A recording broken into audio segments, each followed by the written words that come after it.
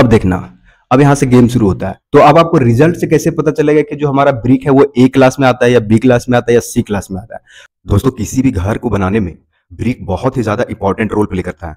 दोस्तों ब्रिक में जितने भी टेस्ट होता है, आज के वीडियो में ब्रिक के सारे टेस्ट पूरा डिटेल में बताने वाला हूँ।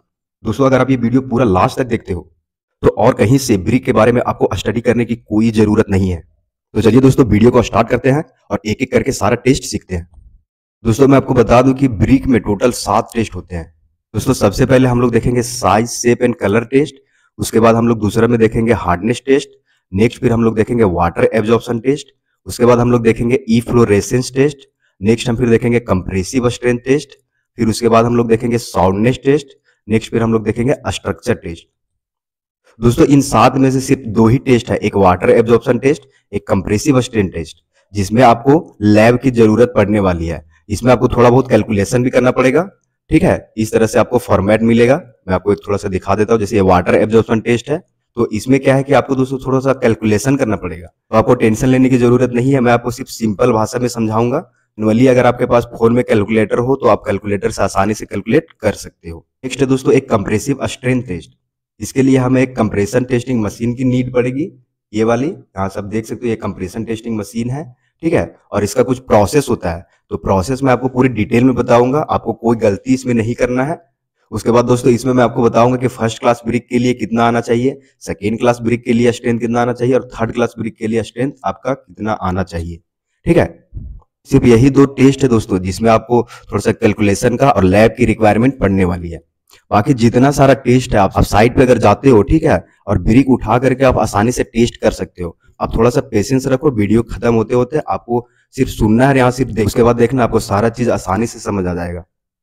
तो चलिए दोस्तों, सबसे पहले पहला टेस्ट देखते हैं। Size shape and colour test तो size shape and colour test के लिए सबसे पहला प्रोसेस है। All brick use for construction should be of same size ठीक है, सबसे पहले आपको ध्यान देना है कि जितना भी ब्रिक आप यहाँ से यूज़ कर रहे हो, ठीक है, सारा सेम साइज़ का होना चाहिए। अगर आप मॉड्यूलर ब्रिक यूज़ कर रहे हो, ठीक है तो मॉड्यूलर ब्रिक का साइज़ होता है 19 centimetre into nine centimetre into nine centimetre थोड़ा बहुत टॉलरेंस चलेगा। कितना टॉलरेंस चलेगा, अभी मैं आपको थोड़ा देर में बताऊँगा। ठीक है? लेकिन यहाँ पर जो ब्रिक आप यूज़ करेगा सारा सेम साइज़ का होना चाहिए। दूसरा पॉइंट में है दोस्तों the shape of brick should be purely rectangular with sharp edges यहाँ पर दोस्तों, आप जो ब्रिक यूज़ करोगे, ठीक है, वो रेक्टेंगुलर शेप में होना चाहिए। और ये जो एजेस है, ठीक है, पूरा शार्प होना चाहिए। ऐसा नहीं कि एजेस यहाँ से टूटा हुआ है ब्रिक का लेंथ और वीट तो पूरा 19 इंटू नाइन इंटू नाइन आ रहा है, ठीक है सेंटीमीटर में। लेकिन आपका एजेस जो है, वो टूटा हुआ है राउंड शेप में है, इस तरह से आपका ब्रिक नहीं होना चाहिए। नेक्स्ट दोस्तों standard brick size consist of length width and height ठीक है 19 सेंटीमीटर इसका लेंथ हो जाएगा, इधर से, इस साइड से, ठीक है, ऐसे हो जाएगा 19 सेंटीमीटर और 9 सेंटीमीटर हो जाएगा आपका इधर से, ठीक है, और इसका जो डेप्थ हो जाएगा ये वाली, ये भी नाइन सेंटीमीटर होना चाहिए। यहाँ पर I S code for dimension test दोस्तों डायमेंशन टेस्ट के लिए कुछ आई एस कोड है। दोस्तों, इसमें से अभी मैं आपको दस सतहत्तर थोड़ा सा बताऊँगा। उससे पहले थोड़ा सा प्रोसेस जान लेते हैं रिज़ल्ट निकाल लेते हैं, फिर रिज़ल्ट वहाँ से मैच करेंगे आई एस कोड से। दोस्तों डायमेंशन टेस्ट करने के लिए आपको एक अपरेटस की रिक्वायर्ड पड़ने वाली है, वो है मेजरिंग टेप ठीक है मेजरिंग टेप आपका zero point one M M thickness का भी रहेगा तो चलेगा। दोस्तों, मैं अब आपको प्रोसीजर बताता हूँ, ठीक है, कि डायमेंशन टेस्ट आपको किस तरह से करना है। यहाँ पर सबसे पहले क्या करना है आपको कि take the 20 number of test specimens दोस्तों, आपको क्या करना है कि डायमेंशन टेस्ट करने के लिए 20 ब्रिक्स लेना है। और नेक्स्ट यहाँ पर है lay the 20 number of bricks contact with each other in longitudinal direction to measure the length of the pieces ठीक है, अगर आप लेंथ मेजर कर रहे हो तो आपको इस तरह से, यहाँ पर आप देख सकते हो मेज़रमेंट ऑफ़ लेंथ तो इस तरह से लॉन्गिट्यूडनल डायरेक्शन में बीसों ब्रिक्स को सटा सटा के मतलब कि एक लाइन में उसको लगा के रख देना है। नेक्स्ट आपको क्या करना है दोस्तों? तीसरा पॉइंट में देखना। Lay the twenty number of brick width wise direction and measure the width अगर आप वीट मेजर कर रहे हो तो आपको तो आपको इस तरह से ब्रिक को अरेंज करना है, ठीक है? वीट की डायरेक्शन में आपको अरेंज करना है, ठीक है? ट्वेंटी ब्रिक्स और नेक्स्ट है दोस्तों lay the twenty number of bricks height wise direction and measure the thickness आपको थिकनेस मेजर करने के लिए इस तरह से ब्रिक अरेंज करना पड़ेगा। आपको 20 20 ब्रिक तीनों के लिए नहीं लेना है। आपको 20 ब्रिक्स लेना है। 20 ब्रिक सबसे पहले लेंथ वाइज अरेंज करके इसको मेजर कर लेना है। ठीक है? उसके बाद इसको विथ वाइज अरेंज करके मेजर कर लेना है। उसके बाद यही 20 ब्रिक्स को आपको हाइट वाइज अरेंज करके मेजर कर लेना है। उसके बाद दोस्तों calculate the individual and average of the measures आपको क्या करना है? इंडिविजुअल करना है। उसके बाद आपको एवरेज लेना है। बीसों का एवरेज कैलकुलेट करके देखना है कि कितना लेंथ आ रहा है, कितना वीट आ रहा है, कितना डेप्थ आ रहा है। Report the result that is height width and thickness of twenty number of bricks ठीक है? कितना आना चाहिए? आपको मैं थोड़ा सा आईएस कोड में ले जाता हूँ। दोस्तों, यहाँ पर आप देख सकते हो दस सतहत्तर यहाँ पर मैंने आईएस कोड खोला हुआ है। ठीक है? यहाँ पर डायमेंशन एंड टॉलरेंस दे रखा है। ठीक है? डायमेंशन आपको लेना है। यहाँ पर देख सकते हो the standard modular size of common building bricks shall be as follows length width height दे रखा है यहाँ पर। 190 नाइनटी mm इसका लेंथ होना चाहिए विथ होना चाहिए 90 mm और 90 mm इसका हाइट होना चाहिए। मैंने आपको पहले बता दिया, मैं आपको इसमें मॉड्यूलर ब्रिक के बारे में बता रहा हूँ, ठीक है? क्योंकि मैक्सिमम मॉड्यूलर ब्रिक ही यूज़ होता है कंस्ट्रक्शन में। उसके बाद दोस्तों यहाँ पर आप देख सकते हो टॉलरेंस जब आप लेंथ वाइज मेजर करोगे, ठीक है? दोस्तों जब आप मेजर करोगे, ठीक है? तो लेंथ वाइज जब आप मेजर करोगे तो आपको सैंतीस से लेकर अड़तीस एम mm तक लेंथ आना चाहिए। ठीक है? अगर आप टॉलरेंस की बात करोगे तो 30 यहाँ पर देख सकते हो 3800 प्लस माइनस अस्सी। अड़तीस से अगर प्लस माइनस अस्सी के रेंज में आ रहा है मतलब कि आप जो ब्रिक का टेस्ट कर रहे हो, ठीक है, वो पास है अदरवाइज़ आपका जो ब्रिक है, वो अच्छी क्वालिटी की नहीं है, आप दूसरा ब्रिक लेके आओ। और जब आप वीट वाइज टेस्ट करोगे आप देख सकते हो यहाँ पर 1760 से लेकर 1880 mm के बीच में आना चाहिए। और अगर आप इन जनरल देखोगे तो 1800 इसका वीट आना चाहिए, उसमें से प्लस माइनस 80 एम mm आना चाहिए। 1800 से अगर 40 एम mm कम हो या 40 एम mm ज़्यादा हो तो भी चलेगा। ये आईएस कोड इंजीनियरिंग में दे रखा है टॉलरेंस ठीक है? अगर आपका इस रेंज में आ रहा है तो आपका ब्रिक चलेगा, आप यूज़ कर सकते हो। हाइट यहाँ पर देख सकते हो 1760 से लेकर 1840 एमएम के बीच में है। मतलब कि इसका 1800 आना चाहिए और इसमें भी प्लस माइनस 40 एमएम आना चाहिए। दोस्तों, यहाँ पर आप ब्रिक के और ज़्यादा डिटेल यहाँ पर देखना चाहते हो तो आपको क्या करना है? आई को डाउनलोड करना है, दस सतहत्तर नाइनटीन और उसमें जाकर के आप आसानी से पढ़ सकते हो और देख सकते हो। ठीक है दोस्तों? नेक्स्ट है दोस्तों हार्डनेस टेस्ट दोस्तों हार्डनेस टेस्ट आप कहीं भी कर सकते हो, ठीक है? कहीं भी जा रहे हो और ब्रिक दिखा आपको तो वहाँ से आप हार्डनेस टेस्ट कर सकते हो। इसके लिए आपको क्या करना पड़ेगा? थोड़ा सा मैं पढ़ के बताता हूँ। In this test a scratch is made on the surface with the help of finger nail ठीक है? If no impression is left on the surface ठीक है? Brick is treated as to be sufficiently hard आपको क्या करना है कि एक ब्रिक लेना है और इस तरह से आपको, आपका जो नाखून है, ठीक है? नाखून से करके स्क्रैच करना है। अगर आप स्क्रैच कर रहे हो और कोई इसमें मतलब कि मार्क नहीं आ रहा है तो समझ जाओ कि आपका ब्रिक सफिशियंट हार्ड है, ठीक है? हार्डनेस टेस्ट भी ये ब्रिक पास हो गया। और अगर आप इस तरह से कर रहे हो और आपका स्क्रैच आ जा रहा है मतलब कि आपका जो ब्रिक का जो क्वालिटी है, वो पूरा पका हुआ नहीं है, वो कच्चा ब्रिक है। इससे क्या होगा कि बाद में जो आपका ब्रिक्स है, वो धीरे धीरे कम होता जाएगा और आपका स्ट्रक्चर गिरने का चांस बढ़ जाएगा। अब आता है नेक्स्ट वाटर एब्जॉर्प्शन टेस्ट बहुत ज़्यादा इंपॉर्टेंट टेस्ट है एग्ज़ाम के लिए भी साइड के लिए भी इंटरव्यू के लिए भी, ठीक है? वाटर एब्जॉर्प्शन टेस्ट बहुत ज़्यादा इंपॉर्टेंट रहता है ब्रिक टेस्ट में। मैं आपको पूरा डिटेल में बताता हूँ। सबसे पहले दोस्तों, पहले इसका प्रोसीजर जान लेते हैं, ठीक है? तो वाटर एब्जॉर्प्शन टेस्ट करने के लिए आपको क्या करना है कि ब्रिक लेना है चार पाँच ठीक है? और ब्रिक लेने के बाद आपको क्या करना है, इसको ओवन में रख देना है। ये दोस्तों, यहाँ पर आप देख सकते हो, इसको ओवन में रख देना है। और इसको क्या करना है कि 24 फोर आवर्स के लिए इसको पहले फ्राई करना है। ही ये ड्राई हो जाता है। इसका वेट लिख लेना है और अब जो यहाँ पर वेट लिखोगे, ठीक है, मैं यहाँ पर टेस्ट करने के लिए तीन सिंपल ले रहा हूँ। वन टू थ्री यहाँ पर आप देख सकते हो। ड्राई करने के बाद जो वेट आएगा, आपको तीनों यहाँ और यहाँ यहाँ लिख लेना है, ठीक है, ये हो जाएगा हमारा डब्लू उसके बाद क्या करना है कि ब्रिक को जैसे ओवन से निकालोगे, उसके बाद इसको क्या करना है कि पानी में पूरा इमर्स कर देना है।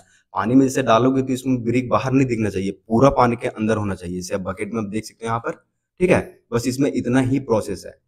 और 24 घंटा पानी में इसको रखने के बाद इसको क्या करना है कि फिर से वेट कर लेना है। वेट करोगे तो यहाँ पर डब्ल्यू टू लिख लेना है, तीनों ब्रिक का वेट यहाँ पर लिख लेना है। जैसे मैंने अभी एक टेस्ट किया था तो मेरे पास रिज़ल्ट है, मैं यहाँ पर तीनों का रिज़ल्ट लिख देता हूँ, उसके बाद इसका कैलकुलेशन बताऊँगा। जैसे यहाँ पर पहला ब्रिक मेरे पास है थ्री थ्री वन फोर दूसरा ब्रिक है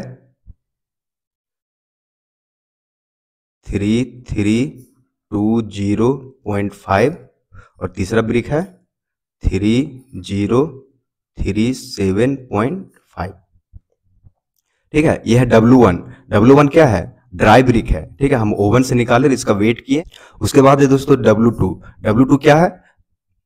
चौबीस घंटा वाटर में रखना है। उसके बाद ब्रिक को बाहर निकाल के उसका सरफेस पूरा वाटर कपड़ा से पोच के, सुखा के, उसके बाद यहाँ पर उसको वेट करके लिखना है। तो इसका वेट मेरे पास आ रहा है थ्री सेवन, फाइव, सिक्स। दूसरा ब्रिक का वेट आ रहा है। Three, six, eight, six, point five. और तीसरा ब्रिक का वेट मेरे पास आ रहा है। Three, five five, seven. अब क्या करना है दोस्तों? यहाँ पर एक फॉर्मूला लगाना है। फॉर्मूला क्या है? आप देख सकते हो W two minus W one by W one ठीक है? तो इसको लगाने के लिए आपको क्या करना है? देखना। Two minus W one by W one into hundred एक मैं आपको कैलकुलेट करके बता देता हूँ। जैसे यहाँ पर आप देख सकते हो डब्ल्यू टू डब्ल्यू टू क्या है? मेरे पास ये है। कितना है? थ्री सेवन फाइव सिक्स तो three seven five six minus W one कितना है? ये वाला थ्री थ्री वन फोर यहाँ पर इसको लिख देना है three three one four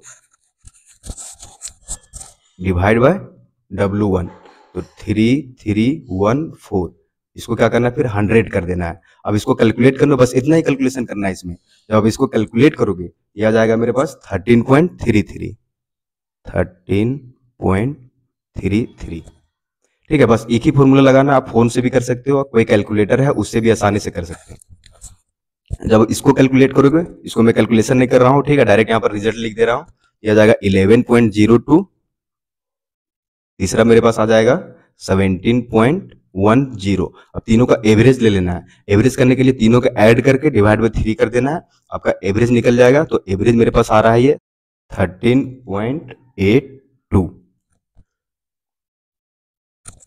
अब दोस्तों, ये जो मैंने रिज़ल्ट निकाला है, ये रिज़ल्ट ये बताता है कि हमारा जो ब्रिक का वेट है ठीक है, जब उसमें पानी में हम इमर्स के 24 फोर आवर्स के लिए तो 13 परसेंट थर्टीन परसेंट जो है, मेरा वाटर एब्जॉर्ब किया है।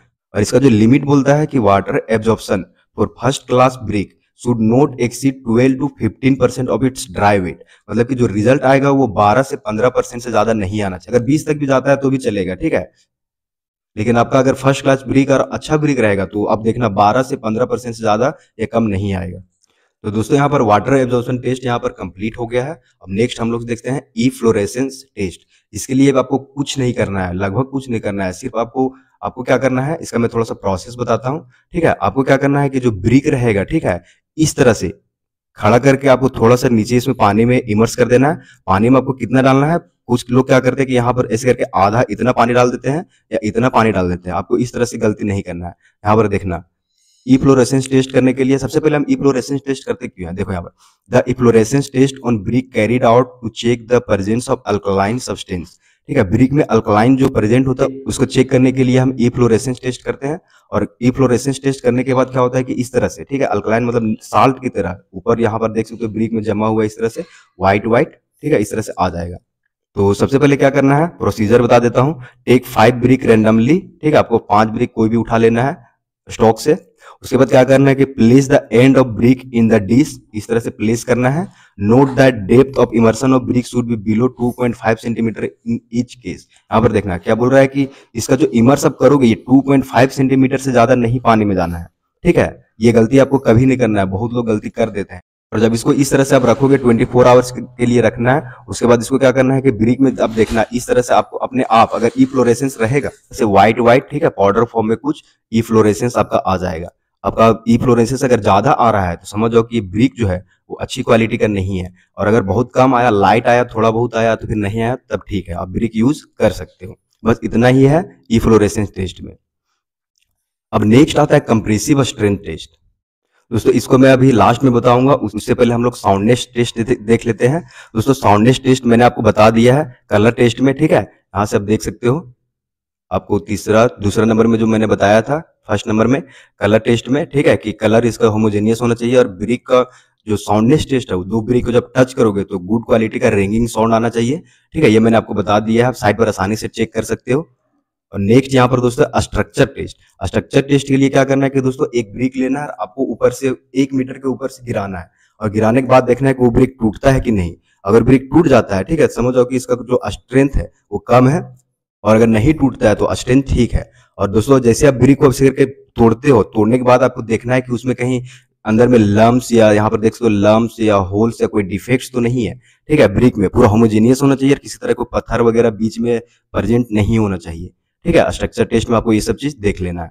ये जितना भी मैंने टेस्ट बताया, सिर्फ़ दो ही टेस्ट यहाँ पर कैलकुलेशन वाला है और लैब वाला है। बाकी सारा टेस्ट आप आसानी से साइड पर कर सकते हो। दोस्तों, अब मैं आपको कंप्रेसिव स्ट्रेंथ टेस्ट बताता हूँ, ठीक है? ये हमारा लास्ट टेस्ट होने वाला है और ये बहुत ही ज़्यादा इंपॉर्टेंट टेस्ट होने वाला है, ठीक है? तो सबसे पहले मैं आपको प्रोसीजर बता देता हूँ, ठीक है? दोस्तों, ये टेस्ट करने के लिए आपको रैंडमली चार पाँच ब्रिक लेना है। मैं यहाँ पर तीन सैंपल ले रहा हूँ। आपको क्या करना है दोस्तों कि इस तरह से ब्रिक लेना है, इसको मेजर करके लिख लेना है। ये हो गया लेंथ और ये हो गया वेट क्यों लिखना है दोस्तों? यहाँ पर इसका जो क्रॉस सेक्शन एरिया है, ठीक है? जब कैलकुलेट करोगे तो लोड पर यूनिट एरिया होता है कंप्रेसिव स्ट्रेंथ का फॉर्मूला तो आपको क्या करना पड़ेगा कि जो क्रॉस सेक्शन एरिया है, वो आपको फाइंड करना पड़ता है। तो मैंने क्या किया हुआ है कि तीनों ब्रिक का लेंथ और वेट यहाँ पर मैंने डायमेंशन लिख रखा है, ठीक है? अब देखना प्रोसेस देखना कैसे करना है इसको। आपको, आप जब ब्रिक लोगे तो आपको यहाँ पर फ्रॉग भी दिखेगा। फ्रॉग मतलब कि यहाँ पर देख सकते हो, यहाँ पर कुछ मार्क रहता है, ठीक है? ब्रिक का ब्रांडिंग ऐसे करके। इसमें क्या करना है कि आपको सबसे पहले सैंड फिल कर देना है। सैंड फिल कर देने के बाद दो पटरा लेना है, ठीक है? पतला पतला एक यहाँ पे लगा हुआ है और एक यहाँ पे लगा हुआ है। आप देख सकते हो और दोनों को पटरा लगा के उसके बाद इसमें लोड लोड देना है। अब मैं आपको कैलकुलेशन बताता हूँ इसका। यहाँ पर आपको यहाँ पर वेट ऑफ़ ब्रिक लिख लेना है। तो यहाँ पर मैं तीनों ब्रिक का वेट लिख देता हूँ। यह three four zero one three four zero one सब सब ग्राम में है, ठीक है? यानी कि तीन थ्री पॉइंट फोर के जी हो जाएगा ये, अगर आप के जी में करोगे तो।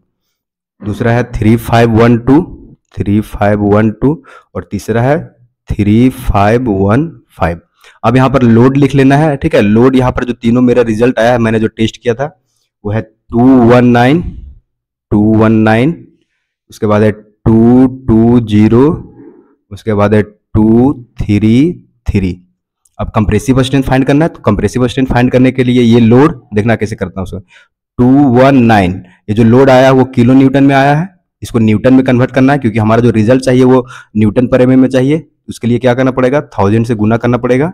डिवाइड बाय एरिया एरिया क्या है? Length into beat two three one one one zero यहाँ मैं लिख देता हूँ two three one into one one zero इसको कैलकुलेट करोगे तो यहाँ पर हमारा रिज़ल्ट आ जाएगा कंप्रेसिव स्ट्रेंथ तो मैं यहाँ पर रिज़ल्ट लिख देता हूँ इसका।